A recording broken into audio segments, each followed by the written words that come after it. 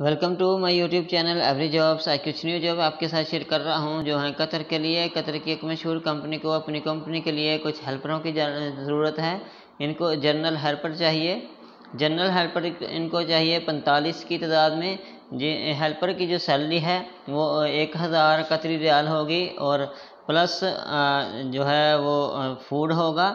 आठ घंटे ड्यूटी है प्लस ओवर टाइम है. एज लिमिट इसके लिए 22 साल से 45 साल तक के जो हैं, वो उम्मीदवार रबता कर सकते हैं. वेट इसके लिए होना चाहिए 50 के जी से 75 के जी तक वेट होना चाहिए जनरल हेल्पर का. ये इसकी रिक्रूटमेंट जो फ़ीस है, वो पंद्रह हज़ार है.